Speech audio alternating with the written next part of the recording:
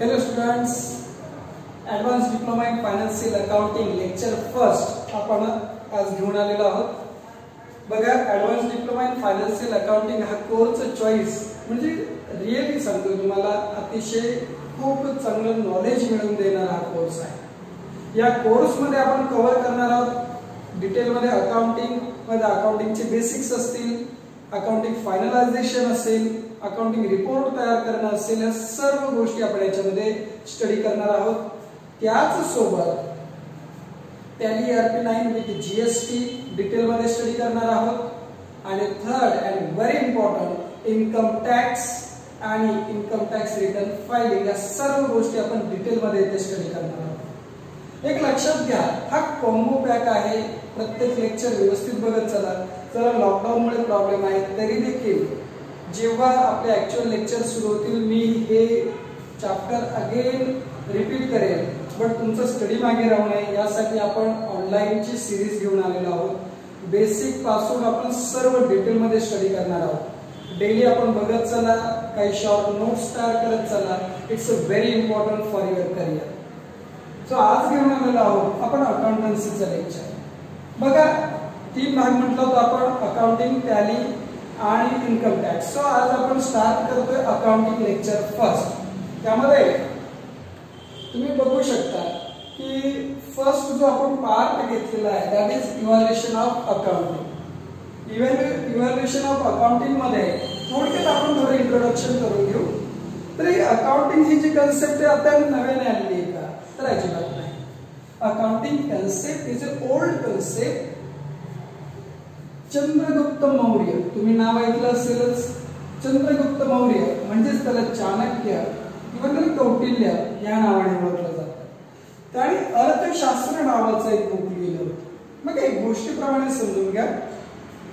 पूर्ण राजेशाही काळापासून देखील अकाउंटिंग आहे. फक्त त्याची करण्याची पद्धती थोडे वेगळे होते. तुम्ही जुन्या काळात बघत असाल तो मुलींचे असं डोळ्यावरती चष्मा ठेवलेला व्यक्ती काहीतरी लिहित बसलेला असायचा. काहीतरी लिहित बसलेलं असंच म्हणजे तो अकाउंटिंग करत होता. सो ह्या पद्धतीने जुन्या काळात देखील अकाउंटिंग होतं. आजही अकाउंटिंग आहे आणि भविष्यात देखील अकाउंटिंग राहील.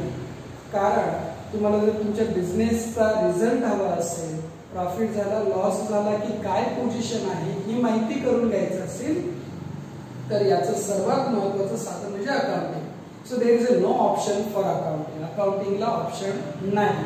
आणि याचसाठी अकाउंटिंग आपण डिटेलमध्ये प्रॅक्टिकल नॉलेज वगैरे सर्व बघणार आहोत. सो स्टार्ट करतो आपण लेक्चरला in India during the period of Chandragupta Maurya which known as Chanakya और कौटिल्य चंद्रगुप्त मौर्याच्या काळामध्ये देखील अकाउंटिंग होतं. कशा पद्धतीने होतं? तर चंद्रगुप्त मौर्याने एक बुक लिहिलेलं होतं अर्थशास्त्र. अर्थशास्त्र नावाचं एक बुक लिहिलं त्या अर्थशास्त्र बुकमध्ये बर जे किंग होते किंवा जे रुलर रुलर होते जे राज्यकर्ते होते यांनी कशा पद्धतीने राज राज्य करावे त्याचे नियम तसेच अकाउंटिंगचे नियम असे खूप सारे नियम हा अर्थशास्त्र बुकमध्ये दिलेले आहे आणि तेव्हापासून आपण म्हणू शकतो की इंडियामध्ये अकाउंटिंग अस्तित्वात आलेलं आहे. मात्र खऱ्या अर्थाने अकाउंटिंगला ओळख जी मिळाली ती मिळाली पंधराव्या शतकामध्ये. इन फिफ्टीन्थ सेंचुरी पंधराव्या शतकात खऱ्या अर्थाने ओळख पंधराव्या शतकात म्हणजे केव्हा? तर चौदाशे चौऱ्याण्णव साली लुका पॅसिवली नाव व्यक्तीचं. रामशाव श्याम सीता गीता त्याप्रमाणे लुका पॅसिवली हे एक व्यक्तीचं नाव आहे. लुका पॅसिवली याने double entry book keeping system नावाचे बुक शोधलं. Double entry book keeping system आणि ह्या double entry book keeping system मुळेच आज खऱ्या अर्थाने आपण जे अकाउंटिंग बघतोय ती म्हणजे लुका पॅसिवलीची देणी. आणि म्हणूनच Luca पॅसिवलीला father of accounting and bookkeeping असं म्हटलं जातं. सो लुका पॅसिवली जे father of accounting and bookkeeping काय केलं होतं लुका पॅसिवलीने double entry book keeping system याचा त्याने शोध लावलेला आहे. केव्हा शोध लावला? चौदाशे चौऱ्याण्णवमध्ये सो ल्युका पॅसिवली म्हणजे double entry bookkeeping system. Double entry bookkeeping system was evaluated by Luca Pasili in 1494. चौदाशे चौऱ्याण्णवमध्ये. इट्स व्हेरी इम्पॉर्टंट लक्षात ठेवायचं आहे नेक्स्ट आपण पुढे जाऊया. त्यामध्ये खऱ्या अर्थाने आता अकाउंटिंग इंट्रोडक्शनला आपण स्टार्ट करत आहोत. बघा इम्पॉर्टंट कन्सेप्ट त्यामध्ये बघणार आहोत. त्यामध्ये फर्स्ट बघतोय आपण bookkeeping bookkeeping means what it is a recording of financial transaction of the business recording of the financial transaction of the business means bookkeeping की बुक किपिंग काय होतं? आपण रेकॉर्ड करणं डे टू डे लाईफमध्ये जे बिझनेसचे जे ट्रान्झॅक्शन होतील त्या ट्रान्झॅक्शनचं रेकॉर्डिंग करणं म्हणजेच बुक किपिंग होय recording of the financial transaction of business financial ट्रान्झॅक्शनचे recording करणं नोंद करणं म्हणजे बुक किपिंग सो म्हणजे ट्रान्झॅक्शन कोणत्या कोणत्या प्रकारचे असतील? काही परचेस सेल्स रिसिप्ट पेमेंट ह्या प्रकारचे. खऱ्या अर्थाने चार आपण म्हणू शकतो purchase sale receipt and payment यावरतीच पूर्ण बिझनेस ट्रान्झॅक्शन हे बेस्ड आहे. येणाऱ्या लेक्चर्समध्ये आपण डिटेलमध्ये प्रत्येक गोष्टीचा स्टडी करणार आहोत. आज एक इंट्रोडक्टरी लेक्चर आहे आणि याच्यात थोडक्यात आपण हे इंट्रोडक्शन घेणार आहोत. So bookkeeping that is recording of the financial transaction into into business आणि double entry book keeping system कोण सिस्टीम कोणी आणली लुका वॅसिओलीने सो पुढे जाऊया आपण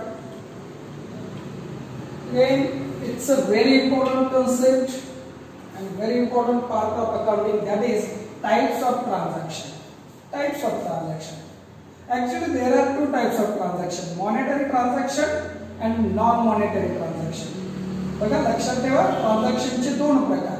मॉनेटरी ट्रान्झॅक्शन आणि नॉन मॉनेटरी ट्रान्झॅक्शन मॉनेटरी ट्रान्झॅक्शनमध्ये काय येतात? All cash transactions and credit transaction all cash transactions and credit transactions are the part of monetary transaction non monetary barter system what is barter system बघा आपण अकरावी बारावी मध्ये OC ते शिकलो असेल. वस्तू विनिमय पद्धत. तर वस्तू विनिमय पद्धत म्हणजेच बार्टर सिस्टीम लक्ष द्या. वस्तूंच्या बदलत वस्तू. म्हणजे बघा एखादा कुंभार आहे तो मडकी घडवतो. तो तो मडकी कुंभार शेतकऱ्याला मडकी देऊ शेतकऱ्यापासून काय घेणार आहे? गहू बाजरी जी त्याची रिक्वायरमेंट आहे. त्याच प्रकारे एखादा फळ विक्रेता तो फळ देणार आहे. आणि जर कुंभाराकडे गेला तर मडकी वगैरे.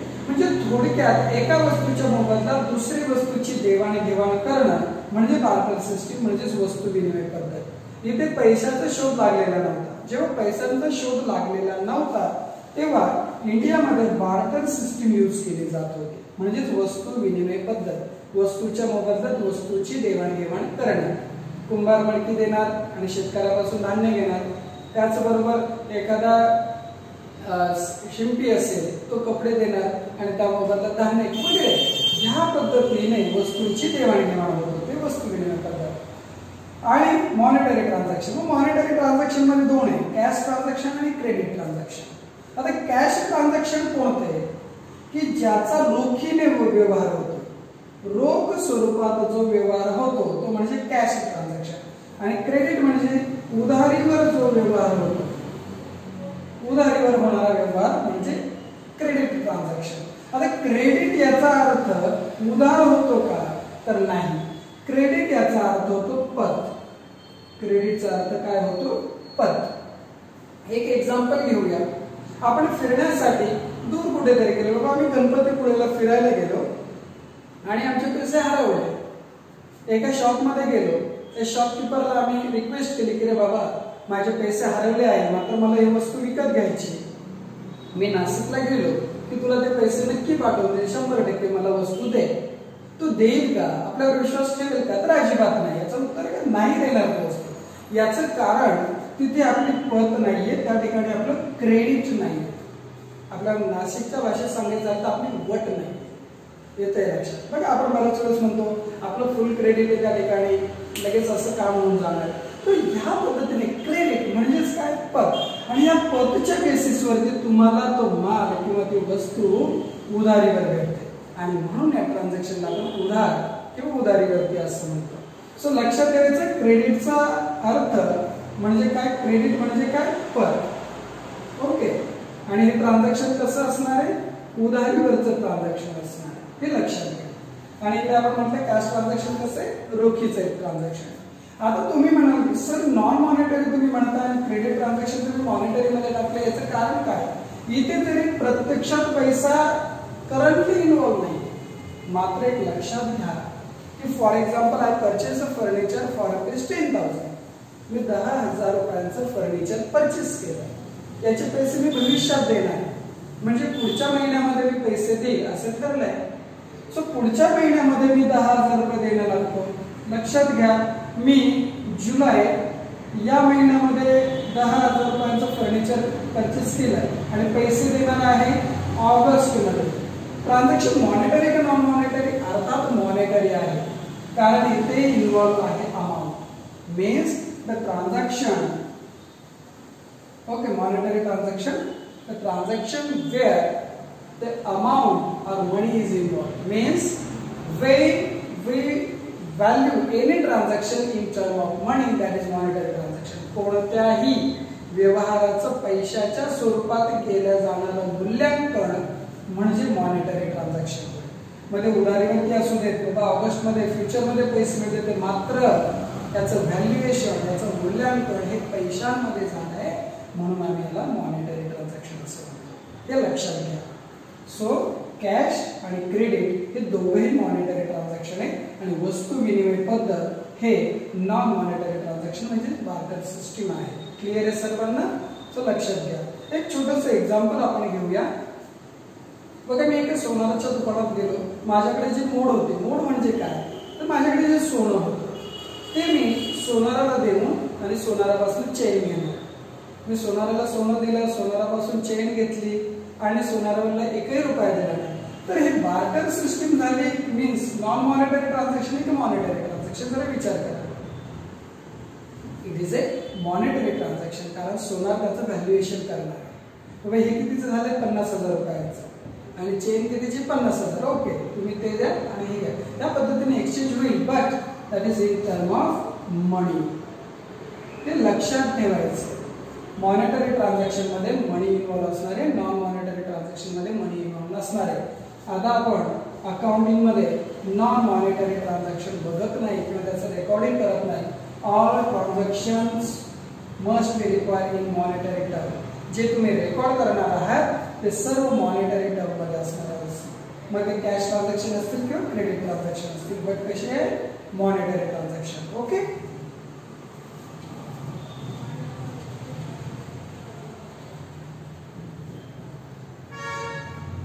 नेक्स्ट पुढे जाऊया आपण.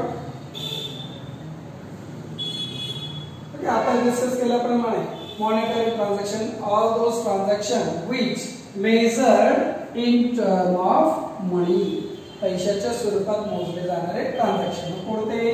Cash transaction credit transaction cash transaction म्हणजे काय? The cash transaction transaction payment settle by using cash cash using आम्ही काय करणार? आहोत पेमेंट सेटल होणार.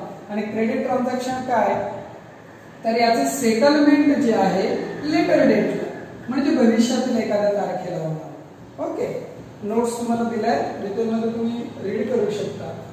नेक्स्ट आपण बघितलं होतं non monetary transaction non monetary transaction काय त्याच्या ठिकाणी ज्याचं मेजरमेंट आम्ही पैशात करू शकत नाही. बारकोड ट्रान्झॅक्शन आपण बघितलं. ओके त्यानंतर आपण पुढची टर्म बघणार आहोत. ऍसेट ओके आजच्या लेक्चर आपण ऍसेट बघूया आणि थांबू. बघा ऍसेट म्हणजे काय? तर आपल्या इन्स्टिट्यूट आपल्या बिझनेसची असणारी मालमत्ता. मध्ये मालमत्ता कशाला म्हणायची? की जी आपल्या मालकीची आहे. म्हणजेच काय? Anything or any resources that is own by business own O W N E D own by business means बिझनेसच्या मालकीची व्यवसायाच्या मालकीची असणारी कोणतीही गोष्ट म्हणजे ऍसेट अतिशय शब्द थोडक्यात. बिझनेसच्या मालकीची असणारी कोणतीही गोष्ट म्हणजे काय असणार आहे asset anything or any resources that is owned by business means asset owned by own by म्हणजे मालकीची.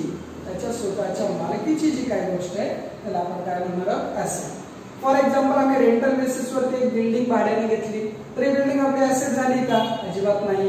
कारण ती आपल्या मालकीची नाही. मात्र आम्ही एक बिल्डिंग विकत घेतली स्वतःच्या नावे स्वतःच्या बिझनेसच्या नावे तर ती बिल्डिंग आपली काय झाली? असेट झाली. हे लक्षात घ्या. ऍसेटचे प्रकार किती? प्रामुख्याने ऍसेटमध्ये तुम्हाला दोन प्रकार बघायला मिळतात एक म्हणजे टँजिबल असेट आणि दुसरा intangible asset okay tangible asset and intangible asset आता टँजिबल कशाला म्हणायचं बरं? All those things which can be see and we can touch ज्याला आपण बघू शकतो आणि स्पर्श करू शकतो अशा सर्व ट्रान्झॅक्शन सॉरी अशा सर्व असेटला आपण काय म्हणणार आहोत? टँजिबल असेट काय? To which we can touch or see आपण त्याला स्पर्श करू शकतो किंवा बघू शकतो. अशा असेट्स म्हणजे टँजिबल असेट पण मग इनटँजिबल असेट म्हणजे काय?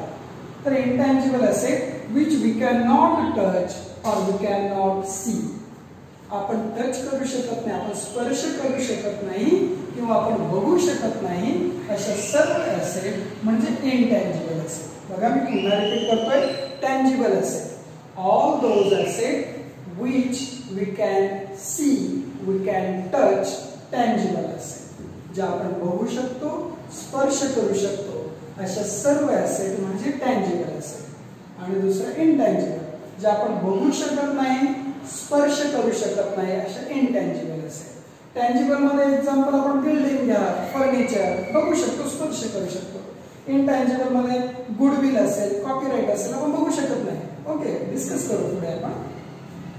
सो टँजिबल असेटमध्ये तुम्हाला दोन प्रकार दिसतात. एक फिक्स असेट आणि दुसरा आहे current asset tangible asset tangible असेटमध्ये again दोन टाईप फिक्स असेट आणि करंट असेट त्यालाच नॉन करंट असेट असे देखील म्हणतात. फिक्स असेटलाच नॉन करंट असेट असे म्हणतात. आता जेव्हा आम्ही फिक्स असेटबद्दल बोलतो तेव्हा ही फार महत्वाची गोष्ट आपल्याला लक्षात ठेवायची.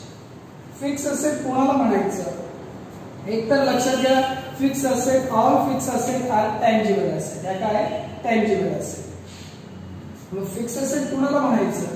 All such asset benefit received from such asset for a long duration benefit received for long duration benefit म्हणजे ज्या असेट्सपासून ज्या मालमत्तेतून आपल्याला दीर्घ कालावधीपर्यंत फायदा मिळत राहतो अशा सर्व ॲसेटला फिक्स असेट म्हणायचं. काय आपल्याला?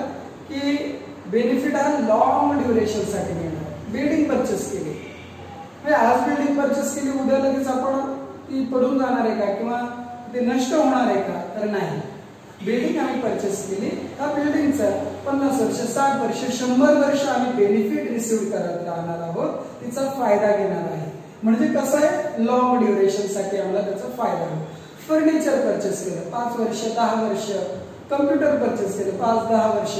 सो या पद्धतीने ज्या ऍसेट्सपासून आम्ही लॉंग ड्युरेशन पर्यंत बेनिफिट रिसिव्ह करत असतो अशा सर्व ऍसेटला फिक्स असेट म्हणायचं. आणि सेकंड काय? त्याचबरोबर फिक्स असेटमध्ये दुसरा महत्त्वाचा भाग की all fix asset are use for the purpose of generating income income मिळवण्याच्या हेतूने त्याचा फायदा करतो. आपल्या इन्स्टिट्यूटवर तुम्ही आला कम्प्युटर आहे.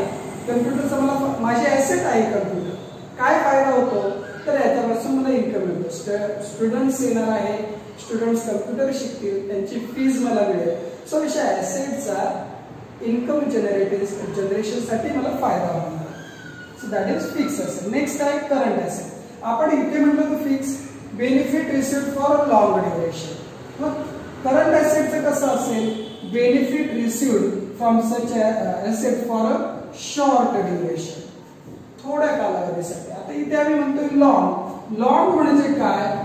मोर दॅन वन इयर एका वर्षापेक्षा जास्त. आणि शॉर्ट म्हणजे काय? लेस दॅन वन इयर म्हणजे करंट असेल की ज्याचा फायदा आम्ही एका वर्षापेक्षा कमी कालावधीसाठी घेतो करंट ॲसेट ओके आणि सेकंड याचा महत्त्वाचा भाग all such current assets are easily converted into to money त्याचं पैशाच्या स्वरूपात आम्हाला अतिशय सोप्या पद्धतीने कन्व्हर्ट करता येतं इझिली थोड्या वेळात करता येतं. लक्षात घ्या. सो करंट ॲसेट काय benefit receive for short duration means less than one year आणि fix asset benefit receive for long duration means more than one year एका वर्षापेक्षा जास्त. त्यानंतर दुसरं काय म्हटलं fix asset use for generating income आणि current asset that can be easily converted into money stock material आम्ही माल विकणार आहोत पैसे येणार. दॅट इज स्टॉक पैसे. त्यात ऑलरेडी कॅशच आहे. लेटर्स पैसेचा जमा वगैरे वगैरे. आम्ही आपण डिटेलमध्ये पुढे बघूया लक्षात घ्या. फिक्स असेट आणि करंट असेट नेक्स्ट आहे intangible asset that is last part आजच्या लेक्चरचा इनटँजिबल असेट इनटँजिबल असेट म्हणजेच काय? All those asset which can not touch or see त्याला आपण बघू शकत नाही आणि स्पर्श करू शकत नाही. असे असे म्हणजेच काय? त्यांचं काय असणार नाही? फिजिकल प्रेझेन्स असणार नाही. But which have a monetary value फार महत्वाचं आहे बघा. Intangible asset all those asset which can we can not see we can not touch आपण बघू शकत नाही स्पर्श करू शकत नाही. त्याचबरोबर अशा ऍसेटचं फिजिकल प्रेझेन्स नसतं म्हणजे अस्तित्व नाही. मात्र अस्तित्व म्हणजे मी फिजिकल म्हणतो किंवा फर्निचर आम्हाला दिसतं बिल्डिंग आम्हाला दिसते या पद्धतीने मशिनरी आम्हाला दिसते. तसं इनटँजिबल असेटचं फिजिकल प्रेझेन्स नाही. मात्र त्याला मॉनिटरी व्हॅल्यू असते पैशाच्या स्वरूपात मूल्यांकन असतं. फॉर एक्झाम्पल गुडविल गुडविल म्हणजे काय? नाव. फॉर एक्झाम्पल तुम्ही पवननगरला गेलात. तर पवननगरला तुम्हाला येवले अमृततुल्य नावाचं एक चहाचं छोटंसं शॉप दिसेल. आता हे येवले अमृततुल्य हा ब्रँड आहे हा ब्रँड आहे पुण्याचा. त्याने फक्त नाव यूज करायला दिलंय येवले अमृततुल्य. ह्या नावाचे लाखो रुपये त्या शॉपकीपरला येवले अमृततुल्य यांना द्यावं लागतं.